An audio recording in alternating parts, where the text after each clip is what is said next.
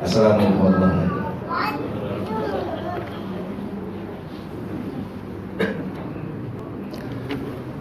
عليكم ورحمة الله وبركاته. الحمد لله رب العالمين والعاقبة للمتقين ولا عدوان إلا على الظالمين. wassalamu ala asyrafil anbiya'i wal mursalin wa ala alihi wa sahbihi ajma'in.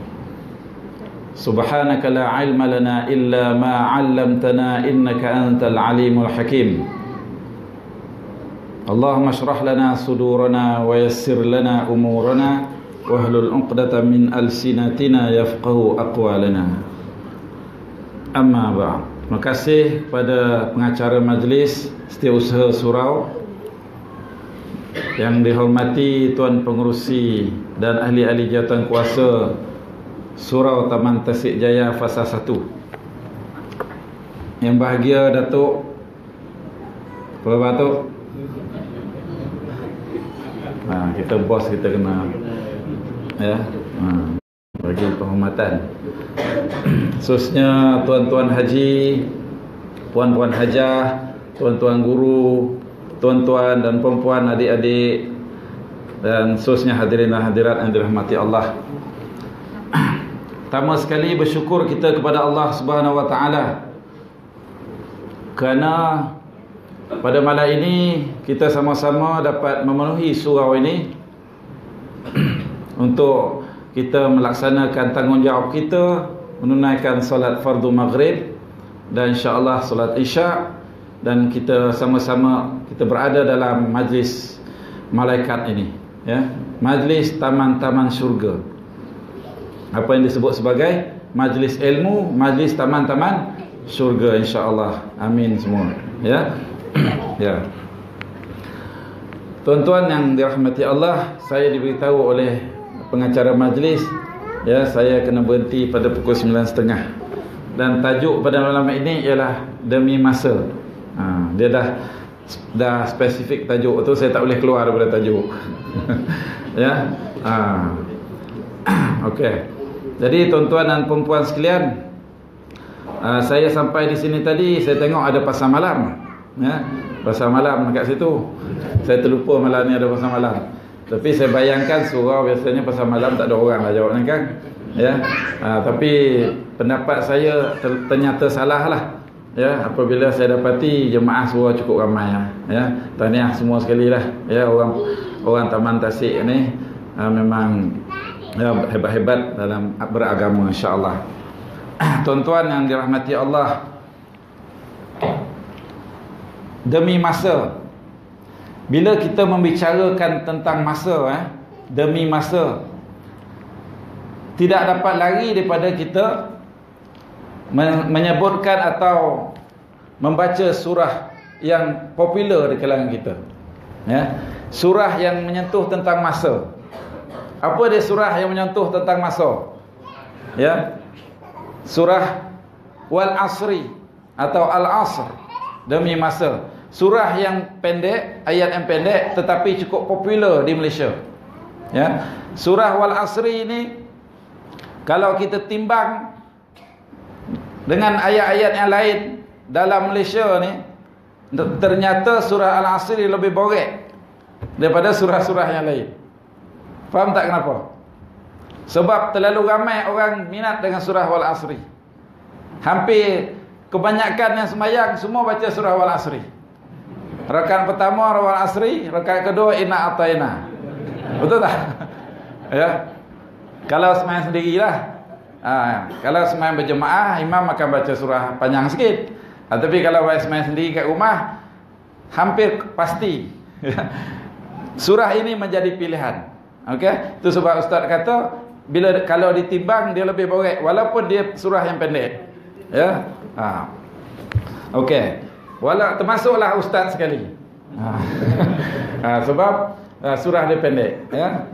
Tuan-tuan dirahmati Allah, surah Wal Asri kita dah faham makna dia. Demi masa, Wal Asri demi masa. Allah bersumpah dengan ma dengan masa. Kita makhluk manusia tak boleh nak bersumpah dengan masa. Kita tak boleh bersumpah dengan makhluk. Kita tak boleh bersumpah dengan apa yang ada atas muka bumi ini. Kecuali Allah saja yang boleh bersumpah dengan segala macam makhluk atas muka bumi ini. Kita tak boleh. Allah saja boleh. Seperti dalam surah-surah yang lain kan. Wal asri demi masa. Lagi. Wad duha demi waktu pagi. Was sama demi langit. Lagi. Wal fajr demi waktu pagi dan sebagainya. Semua Allah bersumpah dengan masa-masa tersebut dengan perkara-perkara tersebut. Tapi manusia kita tak boleh nak bersumpah. Ya, dia spesifik, special hanya oleh Allah Subhanahu wa taala. Kenapa Allah bersumpah dengan masa? Sebab manusia manusia ini Allah beri anugerah nikmat masa ini ya dengan masa masa yang manusia miliki ini manusia boleh melakukan berbagai-bagai perkara dengan ada masa Allah bagi ni nikmat masa ni manusia boleh buat macam-macam perkara ya. Sama ada perkara yang dia suka perkara yang dia tak suka. Perkara sedih perkara gembira. Perkara senang perkara susah. Semua berlaku dalam masa. Semua berlaku memerlukan masa. Betul tak tuan-tuan dan puan Ya semuanya memerlukan masa. Jadi manusia semua bermain dengan masa. Ya. Sama ada kita boleh menggunakan masa yang betul atau kita salah gunakan masa. Ataupun masa itu kita bazirkan dalam kehidupan kita. Itu adalah bergantung atas diri manusia itu. Ada yang menggunakan masa begitu manfaat bagi dia. Setiap detik, setiap masa berguna bagi dia. Ya. Ada setengah manusia masa yang begitu banyak 24 jam, satu hari dia tidur 20 jam. Ya. Dia hanya ada 4 jam saja. 4 jam satu hari, kalau satu tahun ada berapa dan kalau dia umur 50 50 tahun, makna dia dia ada hanya ada berapa hari sajalah. Ya berapa bulan saja yang dia boleh menggunakan masa. Jadi manus, manusia banyak lalai dengan masa. Banyak yang ke, kecundang dengan masa. Justru itu tuan-tuan dan puan-puan yang dirahmati Allah. Ya Allah bersumpah dengan masa. Kerana manusia kadang-kadang terlepas memanfaatkan masa yang dibagi itu. Sedar-sedar dah habis satu hari. Kan? Sedar-sedar dah habis 24 jam. Kau jap. Ya? Sadar-sadar dah habis dah seminggu tujuh hari kau jap je. Sadar-sadar dah sebulan kau jap je. Dah masuk bulan 2 tahun 2018. Ya, kau jap aja. Bagi orang yang memanfaatkan masa dia terasa masa tu. Tapi orang yang tak manfaatkan masa ya, dia tak ada apa-apa. Ya, dia tak ada apa-apa yang memberi manfaat. Itu sebab Allah bagi memberitahu kita tentang perlunya kita menggunakan masa yang betul ya. tuan-tuan dirahmati Allah masa juga ya ditafsirkan dalam setengah tafsir iaitu waktu asar. Ya, wal asri demi waktu asar. Sebab apa? Sebab kebanyakan manusia kadang-kadang dia alpa dia membuang masa di, ketika waktu asar. Ya banyak masa dibazirkan selepas asar. Ya sehingga kadang-kadang melewati maghrib. Ya, tuan-tuan dirahmati Allah, seterusnya ayat ini disambung dengan demi masa sesungguhnya manusia berada dalam kerugian. Benarlah apa yang disebutkan di awal tadi, innal insana lafi khusr. Sesungguhnya manusia itu semuanya berada dalam kerugian. Siapa yang sebut manusia itu rugi? Allah yang sebut manusia itu rugi. Bukan saya yang sebut, bukan ulama yang sebut, Allah yang sebut, Allah yang kenal manusia, Allah yang menciptakan manusia, Allah yang menjadikan manusia, dia yang kata manusia semua rugi. Innal insana lafi khus, setiap manusia semua rugi. Manusia itu beragama Islam, manusia itu yang kafir, manusia itu yang jahat, manusia yang baik, semuanya rugi. Rugi belaka. Kenapa Allah kata rugi ni? Habis kita tak untung lah. Rugilah kita duduk atas dunia ni kalau rugi. Ya, rugi. Tuan-tuan dirahmati Allah, kalau kita buka tafsir Al-Azhar karangan Profesor Dr. Hamka, ya, dia tafsirkan demi masa sesungguhnya manusia dalam kerugian ni. Macam mana dia nak tafsirkan manusia jadi rugi? Macam mana? Dia kata macam mana? Ma macam mana manusia ni tak rugi? Cuba kita tengok. Ya. Lahir saja seorang manusia ke ke alam dunia, dia lahir saja, lahir di perut ibu dia tu, dah start dia rugi dah. Buka tafsir Azhar. Dia start dah rugi. Kenapa rugi? Kalau dulu dikandung kat mak bapak dia, kat mak dia, dikandung. Ya, dibawa ke sana kemari, dimakan sentiasa ready ya dalam perut. Bila lahir saja dia dah rugi. Bila dia lapar, dia dia tak boleh nak bagi tahu orang dia lapar. Bila dia dahaga, dia tak boleh nak bagi tahu orang dia dahaga. Bila dia sakit perut dia tak boleh beritahu mak dia dia sakit perut. Baby. Ya. Ha. Macam mana dia nak beritahu dia sakit perut? Dia menangis ha. Ya, dia menangis tololololong tololololong mak dia. Nah nah nah. Ya. Menangis nangis suap susu. Menangis lagi. Ya, padahal dia sakit perut. Disumbek air susu. Disumbek air nanen. Kawan tu sakit perut tak tahan. Tak faham faham ke orang tua ni kata dia. ya, dah lah bila macam tu dah beberapa jam nangis ni tak susu, dah mulalah. Mak ai mulalah cari. Ha? Tu bomoh. Ha, mulalah cari tu bomoh. Tolong bacakan sikit ha. Apa nak kena budak ni asyik nangis daripada tadi. Rupa ketuk-ketuk-ketuk tong-tong perut dia tu. Sakit perut. Ya. Jadi Hamka kata bila lahir saja rugi, tuan-tuan. Maknanya budak ni dah tak boleh nak mengadu. Rugi. Dia dah rugi. Masa dia boleh dalam perut dulu. Ya. Ha. Jadi proses terusnya budak ni bila membesar, dulu masa dia kecil, dia dibuaikan, ditidurkan, didukung kan? Ha. Didodoikan, disuapkan makan, disuapkan susu, semua disuapkan. Ya. Tetapi bila meningkat budak ni besar, ya, bila dia dah berjalan, umur dah 7 8 tahun ya budak ni tak disuapkan lagi budak ni tak ditidurkan lagi ya budak ni tak didodoikan lagi tak didukung dah. Kau berjalanlah sendiri. Kau pilih suap makan sendiri. Kau carilah dalam peti air tu minum. Jadi dah mula rugi lagi. Ya dah rugi lagi. Rugi dengan yang kemudahan yang ibu dia bagi tadi. Ya? Dan makin lama makin dewasa dia semakin rugi. Ya, dulu mak bapak dia belanja, uh, bagi dia duit. Ya, masa di asrama di sekolah mak ayah tanggung dia. Mak ayah support dia belajar. Ya. Bila dia meningkat, bila dah dah kahwin, dah berumah tangga, dia kena cari sendiri duit. Dia kena nafkahkan sendiri isteri dia, keluarga dia. So mak ayah dah tak campur tangan dah. Dah rugi lagi dia. rugi sebab uh, dia sudah tak ditanggung lagi. Sampailah besok dia dah tua. Dia dah usia tua besok. Bertambah rugi lagi. Sebab dia kena berjalan sendiri, bertongkat sendiri, ya, menyara kehidupan sendiri, berterusanlah rugi. Sampailah bila dia meninggal, masuk dalam dia nak, nak kubur, ya, adakah dia boleh bergolek sendiri?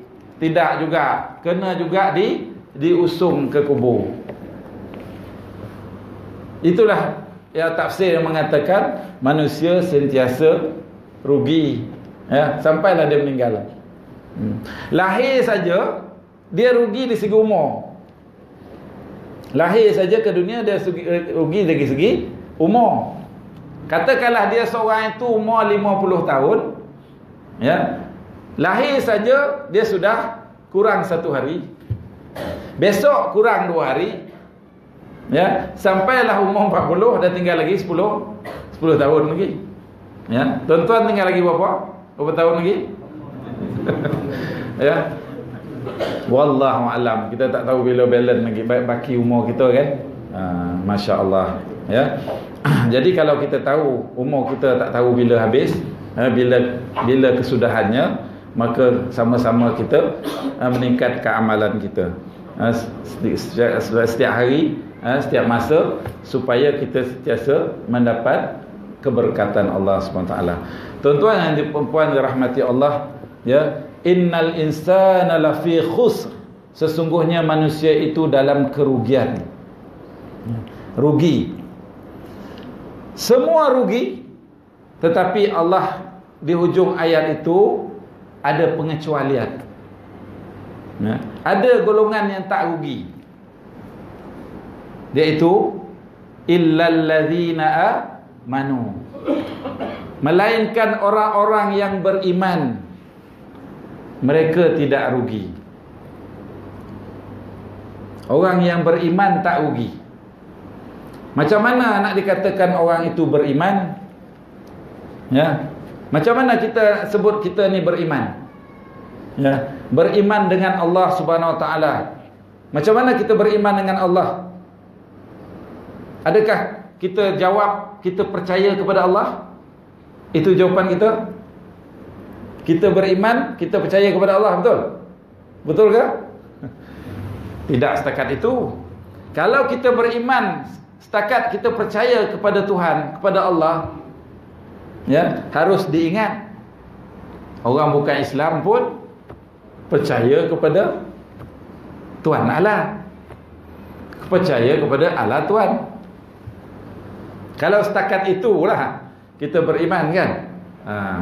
Sebab bila ditanya dalam Al-Quran disebut ya uh, wala in sa'altahum man khalaqas samawati wal ard la yaqulunna Allah dan jika kamu bertanya kepada orang kafir itu tentang siapakah yang menciptakan langit dan bumi ini nescaya mereka kata Allah dalam Quran sebut Allah yang ciptakan langit dan bumi. Dia percaya. Ya. Jadi bukan setakat kita beriman percaya kepada Allah saja, tetapi kita beriman kepada Allah dengan sebenar-benar iman, dengan penuh ketundukan. Ya. Penuh dengan ketundukan, penuh dengan ketaatan kepada Allah Subhanahu wa taala, penuh dengan hub kecintaan. Ya. Beriman kepada Allah ini mesti ada dua ciri. Ya, mesti ada dua ciri. Yaitu pertama uh, disebut sebagai al-hub hmm. atau kecintaan, cinta. Ya. Dan yang kedua disebut sebagai tawaduk ataupun uh, kita tunduk kepada Allah Subhanahu Wa Taala ya? Apa yang disebut sebagai al-khudu' tunduk. Cinta satu al-khudu' satu tunduk kepada Allah Subhanahu taala. Beza. Kalau kita cinta dengan sesama manusia kita cinta dengan isteri kita ya? Cinta dengan isteri kita tak semestinya tunduk setiap masa dengan dia kan? Atau cinta dengan suami kita tak semesti tunduk sentiasa dengan suami betul? Ada ketikanya kita tak tunduk. Ha? jika cinta dengan pasangan kita dan kita tunduk dengan pasangan kita mana pasangan kita tu Tuhan? Kan? Kita cinta dekat anak kita tapi kita tak semesti tunduk kepada semua kemahuan anak kita ya ada ketika kita tak tunduk Maknanya itu anak kita bukan Tuhan. Ya. Ada ketikanya kita tunduk tapi kita tak cinta. Ya. Tunduk dengan bos kita. Tapi kita tak cinta dia, tak sayang dia. Ya, sebab terpaksa. Terpaksa ikut arahan dia, buat jelah. Tapi kita menyampah dia. Kan? Kalau tak, tak disokong dengan kita kan? Ya. Mana dia kita tunduk tapi tak cinta. Kalau kita tunduk dan kita cinta, dia Tuhan kita. Ya. Ha, itu menunjukkan bahawa kecintaan ataupun uh, beriman kita kepada Allah SWT kena memenuhi ciri ini iaitu kita cinta dan kita tunduk kepada Allah SWT. Dan yang seterusnya ialah bersifat ar-raja. Ya. Selain daripada kita cinta, kita tunduk dan kita ada kena ada pengharapan atau ar-raja mengharapkan kepada Allah Subhanahu taala. Ya, apa yang kita buat? Kita beriman dengan Allah, kita salat, kita ibadah, ya, kita baca Al-Quran, kita apa yang kita harapkan? Apa yang kita harapkan dengan Allah Subhanahu taala ialah keberkatan Allah taala. Semoga Allah terima segala amalan kita. Itu ar-raja. Ya. Tuan-tuan yang dirahmati Allah sekalian, jadi orang yang tak rugi ialah orang yang beriman. Ya, beriman dengan Allah, beriman dengan Rasul, ya dan segala rukun iman itulah kita beriman dengan Allah dengan sebenar-benar iman. Tak rugi insya-Allah. Bagi orang yang tak beriman, dia akan rugi. Di sisi Allah dia rugi walaupun dia kaya raya. Ya, walaupun dia jutawan. Walaupun dia bilioner. Tetapi dia dia rugi di sisi Allah ya di sisi manusia mungkin dia untung dan dia berjaya apa yang kita harapkan ialah kita untung. Kita berjaya di sisi Allah SWT ya. Insyaallah. Tuan-tuan yang dirahmati Allah seterusnya orang yang tak rugi dalam ayat tu siapa dia? Illal ladzina amanu wa amilus solihat. Manusia rugi Seterusnya orang beriman pun rugi Orang beriman pun rugi juga Sekiranya Ada lagi ujung ayat tu Ya Illalladzina amanu wa amilus solihat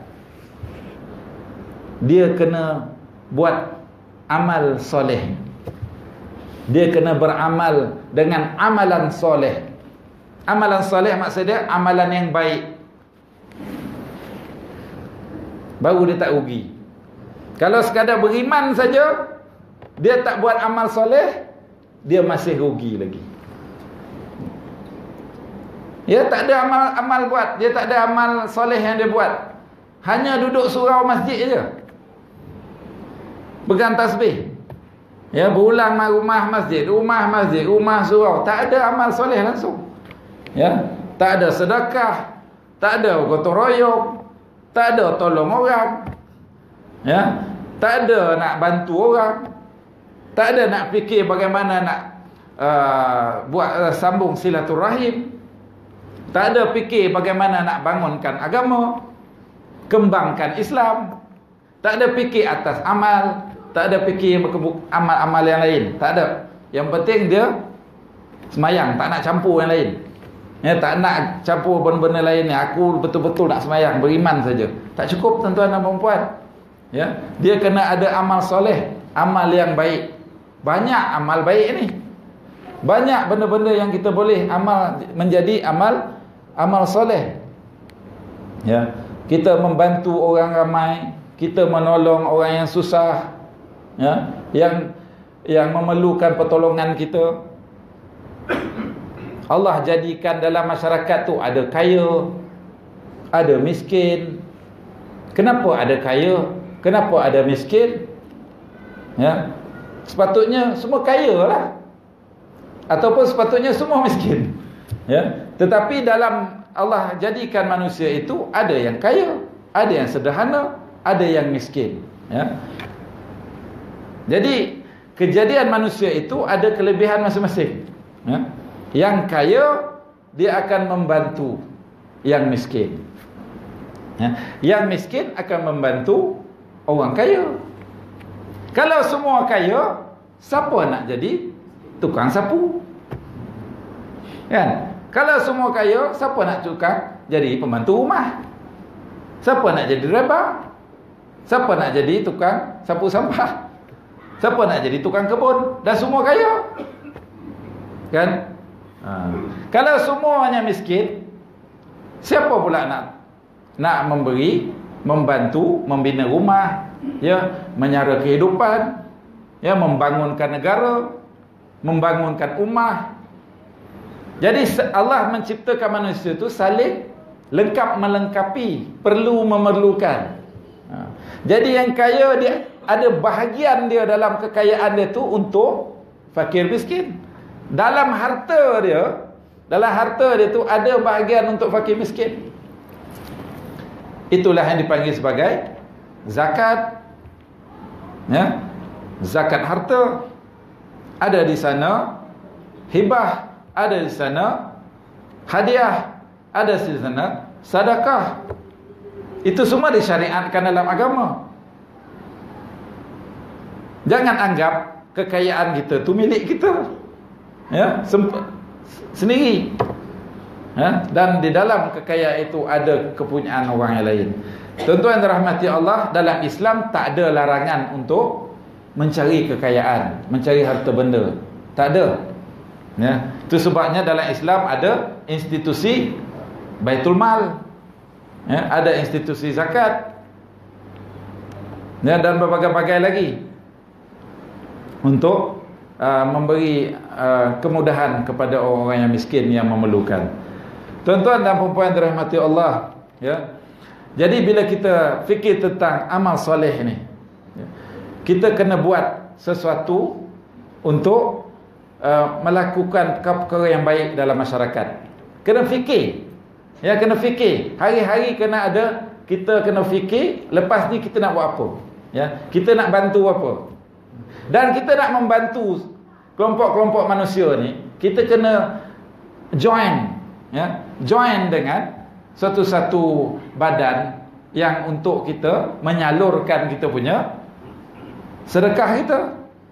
Nak salurkan kekayaan kita, nak salurkan zakat kita, kena kita join seperti masjid, pusat zakat, ya, majlis agama Islam dan sebagainya, kumpulan-kumpulan NGOs ya yang mana yang boleh menyalurkan segala uh, keperluan-keperluan orang-orang susah ni ya. Itu uh, keperluan uh, fakir miskin yang saya sebutkan tadi sebagai amal soleh. Tuan-tuan dirahmati Allah manusia juga akan rugi setakat dia beriman dia beramal soleh masih rugi lagi. Setakat beriman beramal soleh dia masih rugi lagi ya. Sekiranya dia tak buat yang ayat yang seterusnya. Illal ladzina amanu wa amilus salihat wa tawasaw bil haq. Semua hafal ya. Semua hafal ya. Apa dia? Rugi beriman pun rugi amal soleh pun rugi. Kalau dia tak berpesan-pesan kepada kebenaran wa tawasau bil haq berpesan-pesan wasiat ya. Berpesan-pesan kepada kebenaran. Tuan-tuan yang dirahmati Allah apa yang dikatakan berpesan-pesan kepada kebenaran? Wa tawasau bil haq berpesan-pesan atas kebenaran. Apa benda yang benar kita nak pesan? Apa benda yang kita nak beritahu yang benar ni? Ini surah yang pendek tapi membawa makna yang tajam pada hati sanubari kita untuk menjawabnya. Ya? Hmm. amal soleh cukup banyak ya. Tak ada masalah. Semayang surau umrah haji sedekah baca Quran memang A ya. Kalaulah ayat ini, kalau sur, kalau surah wal asri demi masa ni, kalau dia stop dekat situ aja, dekat sampai wa amilus solihat tu, dia stop kat situ. Oh, hebat kita. Cemerlang masuk syurga semua. Insya-Allah. Ya. Innal insana lafi khus illa alladhina amanu wa amilus solihat. Sadaqallahu azim. Stop kat situ.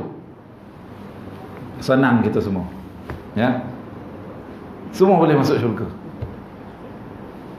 InsyaAllah Kalau stop kat situ ya. Setakat beriman amal soleh bulan alik surau masjid ya. Pergi umrah lima enam kali ya. Uh, baca al-Quran satu uh, lepas khatam khatam lepas khatam khatam ya. Habis lima enam juzuk dah habis.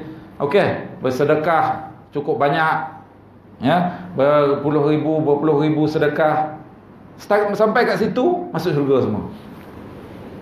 Tapi masalah dia kita ni masalah kita ayat ini ada lagi hujungnya. Dia memberi memberi kerja dekat kita. Ya memberi tugas dekat kita. Ya. Apa dia? Wa tawasau bil haq. Berpesan-pesan dengan kebenaran. Berapa banyak kebenaran yang kita dah pesankan? Soalannya. Berapa banyak kebenaran yang kita telah sampaikan. Berapa banyak kebenaran yang kita dah pertahankan? Kita pertahankan kebenaran. Ha. Berapa banyak kebenaran yang kita dah bela? Kita bela kebenaran tu. Itu kebenaran. Eh? Apa yang benar, benarlah. Eh? Qulil haq walau kanal Walau kana murrah. Berkatalah benar walaupun pahit Hadis. Qulil haq Berkata benar walau kana murran walaupun dia pahit. Pahit nak ditolan sakit. Ya teramat nak beritahu ni. Takut terasa takut tersinggung. Ya. Ha. Takut kalau aku cakap ni kan aduh ha. itu pahit ketika itu kalau sampaikan memenuhi ayat ni ini yang payah ni. Ni ni. Semakin lama semakin payah ni. Setakat amal soleh tak ada masalah insya-Allah. Ya. Boleh buat. Berkata benar. Ya. Kita boleh buat boleh buat checklist. Checklist, sediakan checklist. 1 sampai 20. Okey, satu apa yang kita dah berkata benar? Ya memperkatakan benda yang benar kebenaran. Yang benar kita kata benar yang tak benar kita tak benar. Yang halal halal halal. Yang haram haram. Tak ada tengah-tengah. Halam tak ada. Ya. halal halal lah. Tak ada fikir-fikir. Saya rasa saya rasa ya ha. nak bagi halal juga. Benda tu haram. Nak bagi halal. Sebab nak jaga hati. Ha. kan? Majlis perkahwinan. Majlis perkahwinan. Ya kenduri kahwin. Kenduri kahwin. Contoh. Berapa ramai orang boleh berkata benar? Ha kan berkata benar tentang adat-adat yang ada dalam majlis perkahwinan. Ya. Ada adat yang ada dalam majlis perkahwinan orang Melayu khususnya. Berapa ramai yang boleh tegur? Ya. Ha. Kalau tak ada orang yang menegur, dia akan berlaku seterusnya. Ya. Ha. Sampailah ke hari kiamat nanti. Ya. Saya tak nak sebutlah satu persatu ya. Apa yang dalam majlis perkahwinan ni kadang-kadang boleh kita seolah-olah meniru ya. Meniru budaya lain meniru agama lain ya. Man tashabbaha biqaumin fahuwa min hum siapa yang menyerupai sesuatu kaum itu dia adalah dari kaum tu ya Tentu yang dirahmati Allah berkata benar tentang hukum hakam agama. Ya, saya katakan tadi hukum hakam agama. Ya. Apa yang betul kita betulkan. Ya. Kita kena memperbaharui kita punya cara bercakap. Perbetulkan apa yang kita cakap. Jangan kita salah cakap. Kadang-kadang apa yang kita cakap itu boleh menyebabkan ya akidah kita boleh tergelincir ya. pegangan akidah kita boleh tergelincir bila kita dengar seseorang tu bercakap perkara yang boleh menggelincirkan iman dia so orang yang dengar itu dia kena beritahu berkata perkara yang benar kalau begini tuan kena buat macam ni Sepatutnya tuan tak boleh cakap macam tu. Ya. Apa yang tuan cakap tu apa yang saya belajar dalam mastika hadis dia boleh merosakkan iman tuan. Ha, kita tak boleh menghukum orang tu kufur. Kita tak boleh menghukumkan orang tu kafir. Tak boleh. Kita bukan ada autoriti. Ya. Ha.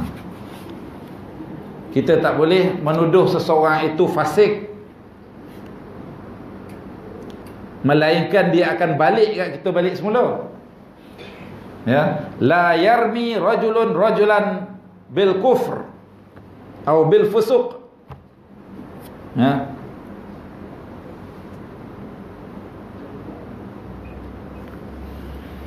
illa irtaddan alaihi illam kadzalik ya Ha, tidak boleh kamu, seseorang kamu menuduh seorang itu kafir, fasik, melainkan dia akan patah balik kat kita.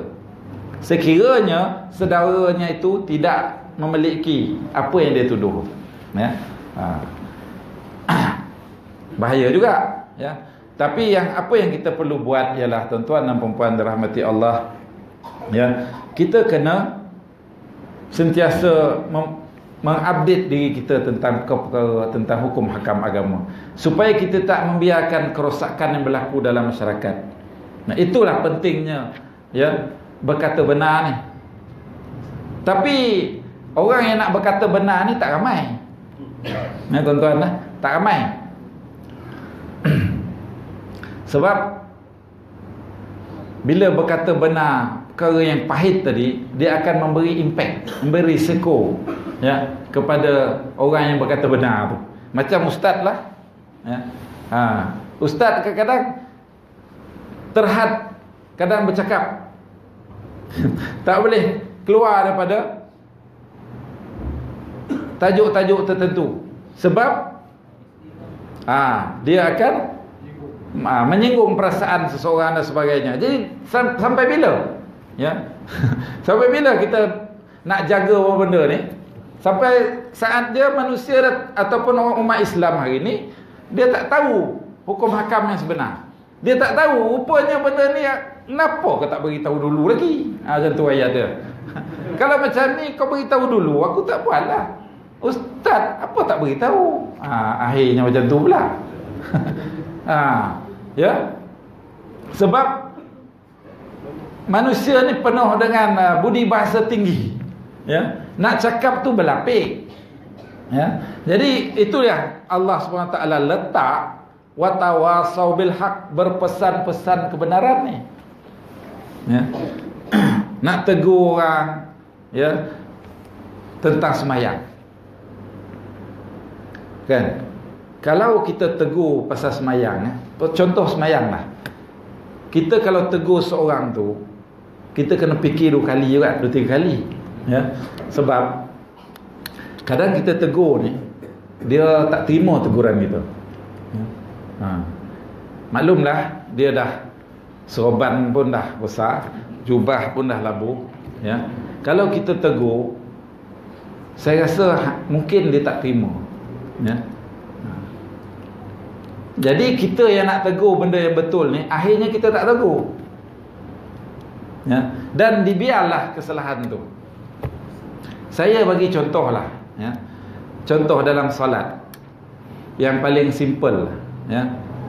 ketika sujud ketika sujud ya. kita semayang di belakang ni kita tengok ternampak orang depan ni ketika sujud kaki dia tu kaki yang sujud tu dia robah kan kan dia robah kan ha.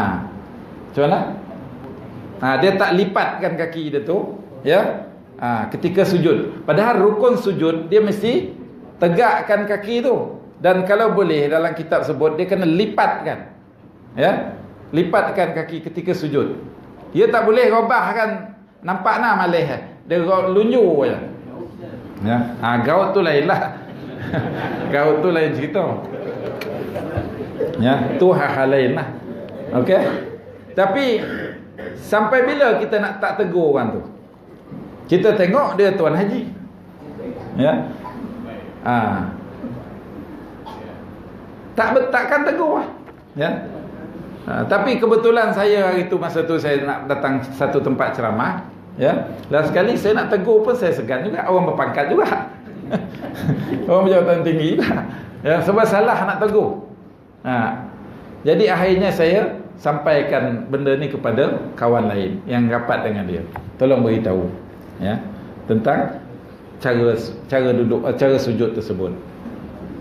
Itu perkara-perkara kecil ya, Dalam solat Banyak lagi benda-benda yang kadang-kadang Yang orang ramai atau masyarakat Islam dia Tak tahu tentang uh, Cara-cara solat yang betul ya. ha, Itu perkara-perkara kecil tu kita nak beritahu tu pun berat Ini kan benda-benda besar ya. Ha. Berkata kebenaran. Salah satu uh, kita Kalau kita tak nak rugi ya, Sebagai manusia yang rugi Atas uh, muka bumi ini di sisi Allah SWT kita jangan uh, uh, setakat beriman dan ma'amal soleh saja. Tuan-tuan yang dirahmati Allah ya. Saya katakan tadi tuan-tuan rahmati Allah kita banyak tersangkut kat situ lah ya kita tersangkut tang watawa sobil haq ni banyak sangkut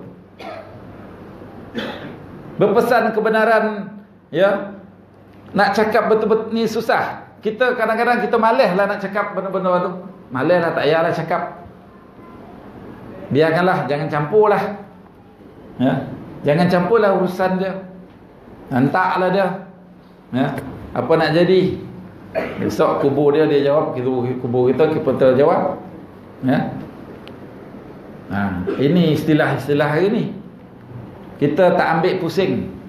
Ha, kita tak ambil tahu tentang masyarakat nafsi-nafsi biarlah janji aku pergi surau balik rumah tidak ya apa nak jadi itu lantak ha, itu makna dia kita tersangkut dekat orang yang rugi tadi tentang uh, sampai ke amal soleh tadi. Tak sampai watawasaw bil haq. Masih rugi lagi. Masih rugi kita di sisi Allah SWT bila rugi di sisi Allah masya-Allah ya rugi di sisi Allah apa yang kita boleh buat besok di hari akhirat? Allah yang beritahu. Ya sebab kita tak nak ambil tahu hal orang lain tak nak beri, tak ambil tahu tentang masalah orang lain. Ya. So macam mana kita nak sampaikan perkara kebenaran ni mungkin kita boleh boleh uh, menyampaikannya dengan banyak cara mungkin kita face to face berdepan mungkin ada masalah Ya, kita nak beritahu depan-depan mungkin kita ada masalah. Eh sogan, dia sogan dan sebagainya. Kita boleh fikirkan macam mana cara kita nak sampaikan kebenaran tu. Ya, kemudahan hari ini banyak. Alhamdulillah hari ini dengan teknologi maklumat yang berkembang, media sosial ya. Dengan adanya kemudahan-kemudahan media sosial, dengan adanya WhatsApp, Facebook dan sebagainya, so kita boleh gunakan benda-benda perkara-perkara ni untuk menyampaikan ke kebenaran tu ya. Di ya berbanding kalau kita gunakan benda-benda ni untuk menyebarkan benda-benda yang fitnah kan. Dari kita menyampaikan perkara-perkara yang tak tentu hujung pangkal dari kita nak share benda-benda yang tak tentu lagi betul ke tidak? Kita tak tabayun dulu benda-benda yang viral. Tahu tabayun? Kita tak selidik. Ya. Ha, bila tak selidik kita terus kan viral. Padahal benda tu tak betul. Kalau betul tak ada masalah. Ya. Kalau betul benda tu alhamdulillah dia jadi dakwah ya dia jadi watawasau bil haq ni. Masuk dalam kategori tawasau bil haq menyampaikan kebenaran. Tapi kalau sebaliknya benda yang tak betul yang dikira fitnah yang dikira mengadu domba yang dikira sebagai satu tuduhan dan sebagainya maka dia di, dikira sebagai bukan menyampaikan kebenaran. Tuan-tuan dirahmati Allah.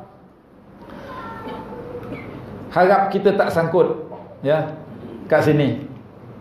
Tuan-tuan berada di mana-mana tempat ya berada di apa saja position ya. Kedudukan tuan-tuan dan puan mungkin ada di pejabat mungkin di dalam persatuan mungkin di dalam jabatan, mungkin di dalam jawatan kuasa, ya, mungkin di kalangan PIBG, mungkin ada dalam jawatan kuasa kampung, mungkin ada dalam ni NGOs, parti politik dan sebagainya. Kita gunakan platform ini. Ya, kita gunakan kesempatan ini untuk sampaikan tawasau bil haq ni. Ya, supaya orang faham Islam. Supaya orang faham agama ya supaya orang faham tentang dakwah Islamiah ya itu gunanya tawasau bil haq kita gunakan segala tempat yang kita boleh sampaikan kalau kita tak sampaikan mana checklist kita tadi yang saya beritahu tadi 1 sampai 20 tadi so agaknya nombor apa tuan-tuan hari ni dah sampaikan kebenaran Watawasau bil haq. Hari ni, hari ni. Berapa dah tuan-tuan sampaikan? Satu. Dua. Ada? Ada tak? Beritahu anak. Anak atau dek, angah dah solat ke belum? Okey, solat zuhur. Kebenaran lah. Ya. Tanya isteri sayang. Hari ni macam mana? Semayang maghrib tak tadi? Belum. Ah, belum semayang. Kan? Kebenaran lah tu. Ha? Tengok anak-anak tengah tengok TV cerita kartun. Dah mengaji ke belum? Belum ya, mengaji. Maghrib-maghrib ni tengok kartun, mengaji. Berani tak? Berani tak ya? Ha, kadang tak berani. Ya, sebab salah biarlah deh. Ya. Kan dia semayang lah tu. Ha. Omak kan meletir tu Ayah halak belok Suruh semayang ayah halak belok Biarlah deh ha? Habis katun tukar semayang lah deh Allah Ada tukang belok pula dalam rumah ni ya? ha. Jadi baru nak tegak kebenaran Watawasau bil haq ha? So kalau checklist kita Masih lagi tak, tak sampai ya So kita berhati-hati dengan surah ni takut kita tak memenuhi keperluan surah ni ya kita tak boleh mengatakan bahawa kita masuk campur tangan urusan orang lain ya. Mana kita nak beritahu orang tu tentang kebenaran bukan kita nak jaga tepi kain orang atau busy body ya. Mungkin iyalah kubur dia kubur dia kubur kita kubur kita. Memang betul ya. Memang betul lah masing-masing punya kubur jawab. Dia buat jahat, dia jawablah besok dalam kubur. Kita buat baik, okeylah alhamdulillah lah. Tak ada seksa kubur. Insya-Allah, ya. Tapi kita beritahu dia takut kita ni besok jiran kubur dengan dia. ha. Takut berjiran dengan kubur dia masalah lah ganggu kita sebelah ni.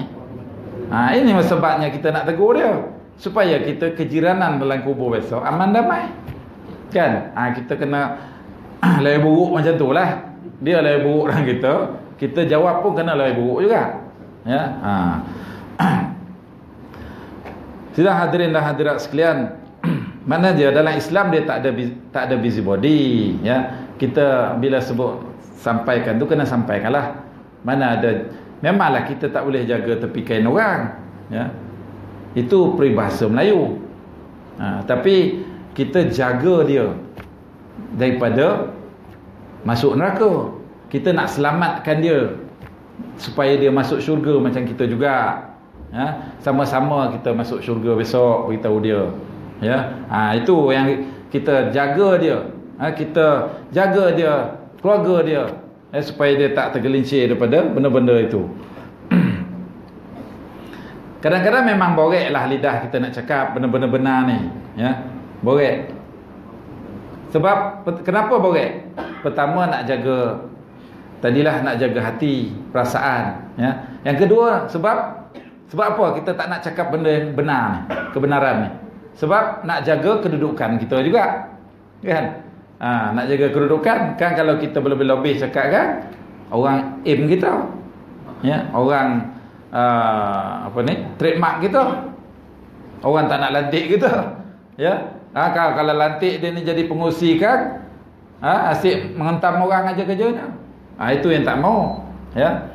Ha, jadi memang berat benda kerja menyampaikan kebenaran ni memang berat. Itu sebab Rasulullah sebut walau kana murran tadi. Ya sampaikan benda yang benda yang benar walaupun pahit. Memang kebenaran ni sesuatu yang pahit macam ubat. Macam ubat kan? Ubat pahit ke mana? Ha, ubat macam manis pun pahit juga. Ya. Ubat pahit tapi terpaksa telan juga. Terpaksa makan juga sebab nak menyembuhkan ataupun nak merawat berusaha untuk menyembuhkan penyakit terpaksa makan ubat walaupun pahit benda kebenaran ni terpaksa dicakapkan walaupun benda tu memang pahit didengar ha, itu yang agak susah ya sebab kita duduk atas muka bumi Allah ini tak lari daripada tanggungjawab menyampaikan yang ma'ruf mencegah yang mungkar. Semua bertanggungjawab ni. Bukan tanggungjawab ulama bukan tanggungjawab ustaz saja bukan tanggungjawab tuan haji saja bukan tanggungjawab tuan imam saja ya. Tapi tanggungjawab semua.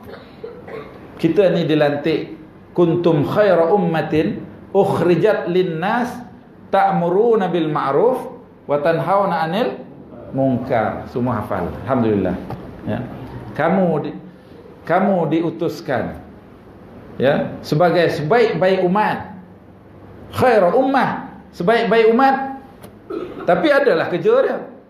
Ada tugas dia. Apa tugas dia?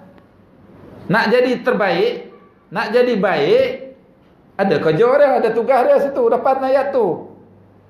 Iaitulah apa dia? Ta'muru nabil ma'ruf. Menyampaikan atau menyeru kepada ma'ruf, perkara-perkara baik. Ma'ruf perkara-perkara yang baik. Perkara yang betul. Seru. Ta'muru nabil ma'ruf. Seru benda-benda yang baik. Nak menyeru benda-benda yang baik macam mana pula caranya nak ajak orang buat baik macam mana seorang-seorang duduk rumah macam mana nak ajak orang buat baik dalam keluarga kita aje lah kan itu pun kadang-kadang tak mampu nak sampai kan nak suruh orang rumah pakai tudung pun tak mampu. Macam mana nak suruh orang lain kan? Contohlah ni. Ya. Macam mana kita nak menyeru, nak memenuhi ayat ni? Tak muru nabil ma'ruf ni. Nak seru kepada kebaikan macam mana? Kalau jadi Tok Bilal tak ada masalah lah. Siapa jadi Tok Bilal sini? Seorang aja pun. Menyeru kepada kebaikan. Seru orang pergi semayang. Kan? Dah Tok Bilal dah settle lah. Settle kerja untuk Bilal. Sebab dia menyeru kepada kebaikan tiap lima kali sehari. Bertuah beruntung menjadi Tok Bilal. Ya. Berbanding orang lain. Imam pun tak sehebat Tok Bilal. Sebab imam dia mengimam semayang je. Tapi Bilal seru orang semua datang semayang. Siapa lebih besar pahala? ha? Orang seru satu taman datang semayang. Dengar azan, hayya solah. Beribu orang datang. Ya. Tu imam senang ya keluar dalam bilik itu. Allahu akbar. Ya. Siapa lebih susah kerja? Siapa lebih banyak pahala? Itu di sisi Allah SWT lah kan. Dari segi pandangan mata kita, nampaknya macam Tok Bilal tu lebih kerja. Lebih patut pahala. Tapi, allowance siapa lebih tinggi? Elang siapa lebih tinggi? ha, ya. Ha, tak boleh nak cakap apa lah. Ya. Hmm.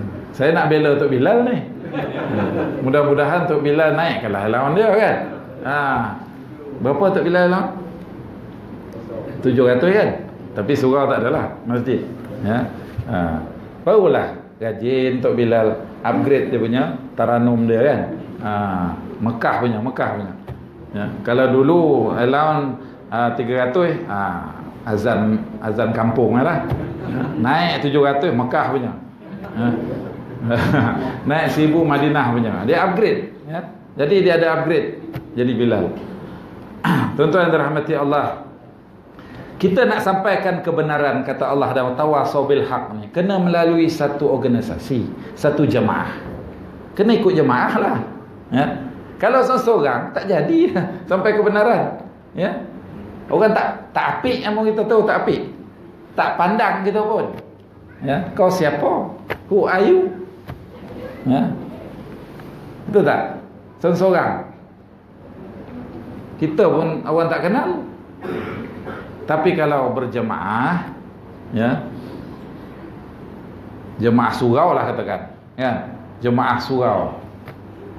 Jemaah surau pergi mengajak orang pergi semaya. Jemaah surau pergi mengajak orang pergi baca al-Quran. Jemaah surau pergi tanya orang tu dah semayang ke belum. Ya. Ha.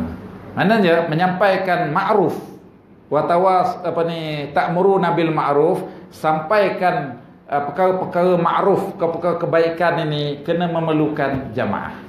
Ya, kena memerlukan jamaah. Begitu juga wa ta'muru uh, ta'muruna bil ma'ruf wa tanhauna 'anil munkar dan mencegah kemungkaran. Ayat Al-Quran. Saya baca semua ayat Quran malam ni. Ya, kalau hadis kan yang bertikaikan pula. Ya, hadis sahih ke, dia tak sahih. Quran, buka Quran. Ya, ta'muru nabil ma'ruf menyeru kepada yang ma'ruf kena jemaah saya kata tadi. Ya kena melalui jemaah. Tak kira jemaah apa? Ya? Jemaah uh, yasin dan tahlil ke? Jemaah wanita marhaban ke? Jemaah berzanji ke? Tapi dia berjemaah. Ya? Berjemaah barulah orang confident ya, menyampaikan sesuatu tu. Ha? ataupun uh, satu lagi iaitu mencegah kemungkaran. Ha, wa tanhauna 'anil munkar. Itu tugas yang kedua. Nak jadi khaira ummah. Nak jadi khaira ummah, tugas yang kedua tadi di hujung ayat tu ialah wa tanhauna 'anil munkar, mencegah kemungkaran. Lagilah payah. Ya. Ha, menyeru kebaikan senang. Banyak boleh buat, tak ada masalah. Menyeru kebaikan senang. Ya. Tapi mencegah kemungkaran ni hampir payah. Tapi masuk dalam tugas khairah ummah ni. Hmm. Ya, apa tuan? Ha, mencegah kemungkaran, mencegah maksiat. Uh, payah. Mencegah maksiat cukup payah. Ya, itu sebabnya maksiat hari ini menjadi-jadi. Ya, kemungkaran menjadi-jadi. Ya, tak malu, tak segan lagi dah. Ya. Dulu menyuruk-nyuruk buat-buat kemaksiatan ni. Sekarang tengah-tengah ramai ya. Depan-depan mata kita. Dulu nyuruk-nyuruk pergi ke sana, pergi nyuruk dalam hutan, pergi nyuruk dalam ni. Sekarang ni hmm, rakam dalam face dalamnya pula internet bagainya. Ya, dah tak ada malu, tak ada segan lagi dah. Sebab sebab apa jadi begini? Sebab tak ada orang mencegah kemungkaran ni. Tak ada yang betul mencegah kemungkaran. Semua ajak kebaikan saja. Siapa yang mencegah kemungkaran? Siapa yang mencegah kemungkaran? Ya? Siapa yang mencegah maksiat? Pegawai pencegah maksiat. tu ialah jawapan dia. Pegawai pencegah maksiat kat Jabatan Agama tu ada berapa orang je? Satu jabatan agama pencegah maksiat berapa orang je. Ya. Nak jaga berjuta orang. Beratus ribu orang. Terjaga ke dia? Ya. Adakah dia terjaga? Tidak. Tak mampu dia. Dia menjalankan tanggungjawab jawatan dia saja. Perjawatan dia kecil. Tapi sebenarnya Allah tak beritahu pun dalam tu siapa yang kena buat. Ya, siapa yang jawatan mana yang kena buat tidak. Dia beritahu siapa nak jadi khairul ummah, umat yang terbaik, buat kerja ni. Buat kerja menyeru ma'ruf, mencegah mungkar. Macam mana mencegah kemungkaran? Kita nak checklist tak? Checklist malam ni. Satu, apa yang kita dah cegah hari ni? ya. Ha. Ustaz pun tak ada. Zero. Ya, tak ada hari ni mencegah kemungkaran. Tak ada kemungkaran ke? Tak ada maksiat ke? Minta maaf saya cakap. Kalau ada yang merokok, minta maaf. Ya. Minta maaf. Susun jari 10. Minta maaf. Ya. Minta rokok ni kemungkaran ke tidak? Tak. Ya. Kalau tak tak apalah. Ya. Kalau satu yang salah, ya. Kalau boleh mampu tak kita menegur ya orang yang rokok? Saya rasa tak mampu. Ya. Mampu tak tuan? Tak mampu kan? tak mampu. Ya. Kalau itu pun kita tak mampu kan? Macam mana eh? Yang besar-besar lagi kita nak cegah kemungkaran maksiat, betul tak? Ha? ha. Tapi ialah kaedah berdakwah ni atau mencegah kemungkaran menyeru ma'ruf ni ada kaedah uslub dia. Ni ada uslub. Bukan kita main langgar aja kita nak mengajak orang, kita nak cegah kemungkaran, dia ada uslub ataupun ada kaedah dia. Ya, macam mana kaedah yang bijaksana? Yang bil hikmah. Ya, ud'u ila sabili rabbika bil hikmah wal mau'izatil hasanah. Serulah kamu ke jalan Tuhanmu, ke jalan Allah, serulah kebaikan, cegah kemungkaran bil hikmah dengan penuh bijaksana. Wal mau'izatil hasanah dengan penuh kebijaksanaan kita. Ha. jadi kena ada bijaksana dan bijak sinilah. Ya. Ha. dalam nak cegah orang macam mana cara kita nak approach? Ya supaya dia terima kita punya dakwah. Dia terima kita punya teguran. Ya. Ha. kadang-kadang ya ini cerita orang serokok ni lah ya. Ha. Ni ada jamuan ke lepas ni? Ha. ha kan? Lepas aja makan ya. Apa kita orang yang buat? Ya. Ya. Ha, merokok sedap kan? Ha. Tadi sebelum makan baca apa? Doa makan tu tak? Allahumma barik lana fima razaqtana wa qina azab azaban nar berkatilah makanan aku ni dan ujung sekali waqina azabanna jauhkanlah dari api neraka. Yang sakok ni pun aminkan juga. Ha? dia pun aminkan juga. Padahal rokok kat ujung mulut aja api kat ujung mulut aja. Ya? Ha. tapi jauhkan api neraka. Tapi api dekat mulut. Ya? Ha, itu double standard lah. Okey Dan tuan dirahmati Allah mudah-mudahan ya kita yang hisap rokok mudah-mudahan dapat uh, kurangkan dan kita cuba ya cuba. Bukan cuba kita berusaha berhenti terus ya sebab uh, faedahnya memang tak ada lah ya. Uh, kalau kita makan kuih ya makan kuih dalam tandas boleh ke makan kuih dalam tandas? Tak boleh kan? Tapi kalau mokok boleh kan Mokok boleh dalam tandas. ha. Jadi fikir-fikirkanlah ya. Ha, ustaz cakap ni sebab ustaz tak Islam. Kalau ustaz Islam, ustaz tak cakaplah. Okey. Ha. Tuan-tuan dan rahmati Allah, kita mudah-mudahan kita dapat kurangkanlah. Ya, itu checklist saya hari ni. Kawan-kawan saya dapat dah. Ha, tak muru Nabil Ma'ruf tadi. Uh, tuan-tuan dan rahmati Allah, seterusnya ayat yang suratul as demi masa tadi sesungguhnya manusia dalam kerugian kecuali yang tak rugi orang yang beriman yang kedua orang yang beramal soleh dan yang ketiga orang yang ber, berpesan-pesan kepada kebenaran ya. yang beriman rugi amal soleh pun rugi lagi yang pesan kepada kebenaran pun masih rugi lagi sekiranya dia tak penuhkan lagi ayat yang hujung surah ni watawasau bisabr berpesan-pesan kepada kesabaran. Ha sabar ya. Ha sabar cik sabar tu sabar bang ya. Pesan. Berpesan-pesan kepada kesabaran. Dia kaitkan hak kebenaran tadi dengan kesabaran ya. Wa tawasau bil haq wa tawasau bis sab. Dia gandingkan. Berpesan kebenaran, lepas tu kita hendaklah sabar. Kebenaran yang kita sampaikan mungkin dia menjadi bebanan dekat kita. Mungkin menjadi risiko dekat kita. Mungkin memberi kesan dekat kita bila kita sampaikan kebenaran itu. Tetapi kita tetap sampaikan juga. Dan bila kita sampaikan benda benar ni, benda yang betul ni, ada orang tak suka. Ya? Ada orang tak suka benda yang benar ni. Ada orang tak suka benda yang betul ni.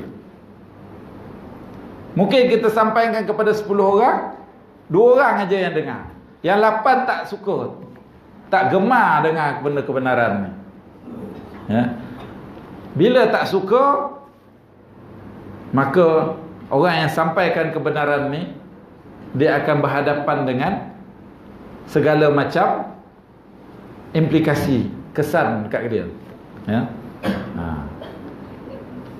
Kita tengok Rasulullah SAW dan para sahabat yang menyampaikan kebenaran. Rasulullah sampaikan kebenaran. Apa yang dia dapat? Rasulullah perjuangkan Islam. Apa yang Rasulullah dapat? Rasulullah menyampaikan Islam ke penduduk Taif. Apa yang Rasulullah dapat? Dibaling batu. Ya, sehingga berdarah buku lali. Rasulullah berdakwah di peperangan Uhud, dalam peperangan Uhud, apa yang Rasulullah dapat? Ada